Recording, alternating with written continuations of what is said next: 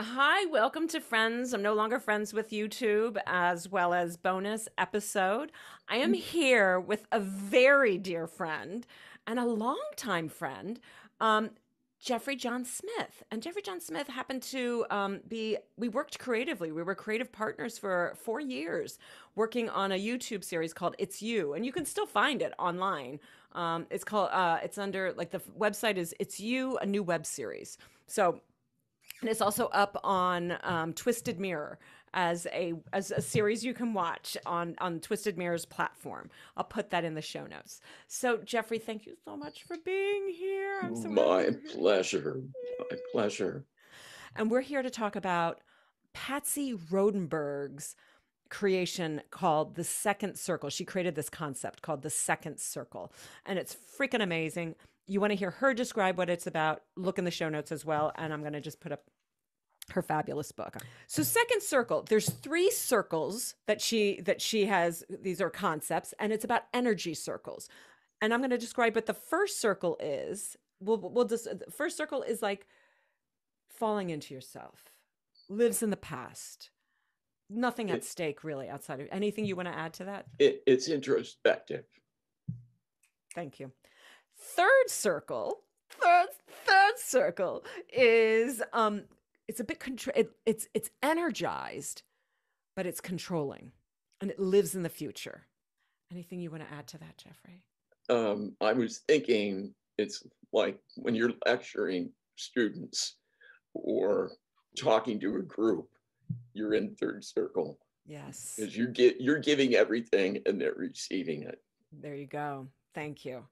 And then second circle is the circle of intimacy and of back and forth and present moment.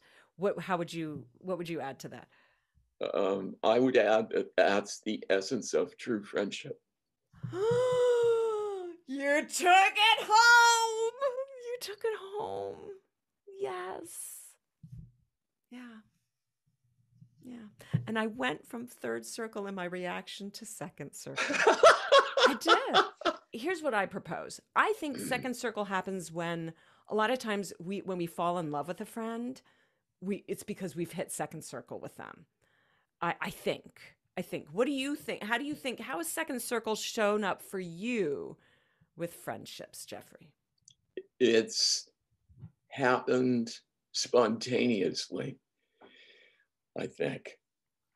And over time, but the key for me has always been some kind of shared experience, like college or theater or making a movie or something like that, where you work on something together mm-hmm. and it creates an even playing field where the possibility mm. of becoming intimate friends exists.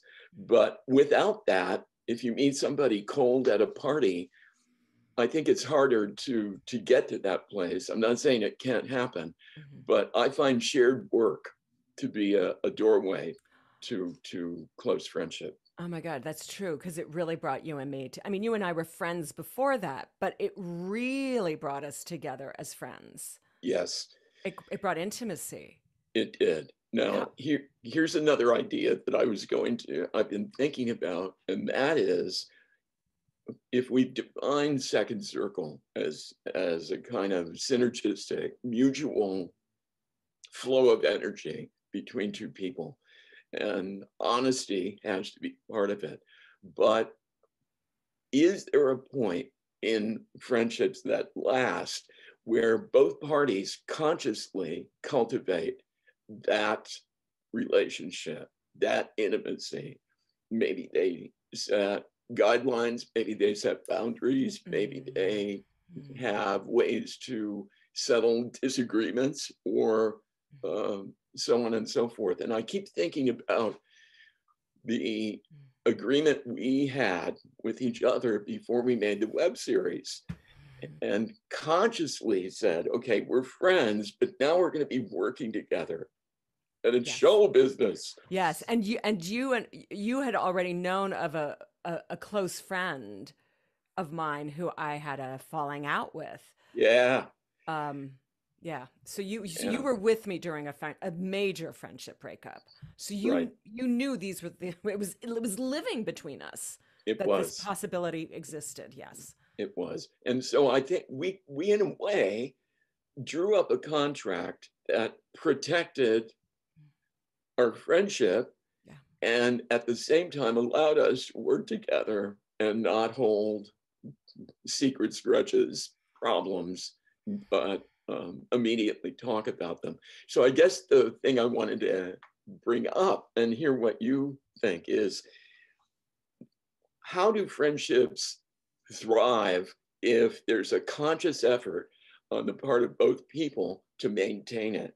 Or can you just maintain it by kind of leaving it alone and letting it happen spontaneously? Do you need cultivation, conscious cultivation to That's maintain a friendship? That's a great question. I, I, I I'd, I'm going to bring the question right back to you because I know you have thoughts. You know, I'm sure you have thoughts on this. I feel for me, because of who I am and where I come from in this, just where I come from, uh, which I think is not just my family of origin. I believe in past lives. So, so uh, my my whole history of myself, and probably future, and I think going into the future of my future self, I am particular. And so I have to tell people who I get close to this is me. And this hurts my feelings. Yeah. And how do we talk about this so that it's not catered to me? So that both of so we how do we get into I mean, I think I have to have a conversation about a second circle conversation of how do we get into second circle? Well, I have friendships from college still, um, three of them. Now we're talking 50 years on. So a couple of them have not required me necessarily to do conscious kind of, to draw up a kind of contract, a friendship contract. And um, and that's fine. But I find periodically, if you don't have at least an unspoken agreement about where the lines are, sometimes you have to take drastic effort to balance that friendship. You know, if if things are happening in it that make you uncomfortable or unhappy, you have to find a way to talk about them and not um, not make the whole friendship vulnerable to collapse. It depends on how much you want to keep it. I mean, I think that Yeah. yeah. So what happens? I'm throwing, I'm just throwing things out. Yeah. What happens when a second circle relationship strays into third circle? Well, hopefully you can. Uh, hopefully, hopefully this is uh, you know, and I'm sure I can go into third circle with people. Oh. You know what I'm saying? I know I'm pretty good at it. I think. I think. We I, We teach. yes, yes.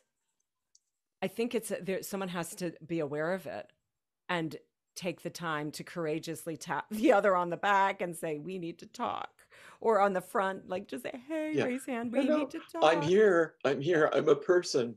Yeah. You Yeah. can talk to me. Yeah. Yeah. We've had that a lot in our friendship. Do you know where I I remember we were one time accountability partners one summer and and I just got on I got into third circle. got into third circle with you and you just kind of I could just see I I put I, I it, you went someplace emotionally that I was like I did. When yeah. did that happen? What was that? what was that? That was we were supposed to be writing. We were both writing. I was writing my memoir about friends I'm no longer friends with, and you were doing a, your blog. And I just I started getting punitive. I, I started throwing shoulds at you. You did? I did, I did. And I you must have and blanked and it. I that's interesting because I think I I just noticed your behavior, and because I'm pretty aware of behavior, I think I'm I'm I'm probably quite good at it, although I have my missteps. I was like, "What's going on here?" And you were like, "I I, I don't know." And I said, "Oh my god, oh my god, I totally misstepped. I totally misstepped. I just was Wow. punitive." And you were like, "Thank you, thank you." I I have no memory of this. I May- remember it. I remember. Maybe I'm I'm selectively maybe that's how I stay in second circle with people. I Mm. selectively forget Yeah. um missteps or something. I don't know. I think sometimes people can go to second circle with you and it actually is just a one-time gig. It's a one-time gig and it's not meant to be friends. And and I always get sad by that, but you know what? I think it's time for me to say, you know what? That's okay. It lived there and I'm so glad I got that second circle with that person and that was our closeness and that is it. Um, how about you, Jeffrey? Um, I have a dear friend who this is boy tangential, and I'll try to put them together, and you'll have to edit this um, profusely. But we used to do these parties every year, once a year in January, and it was the Fred and Ginger party.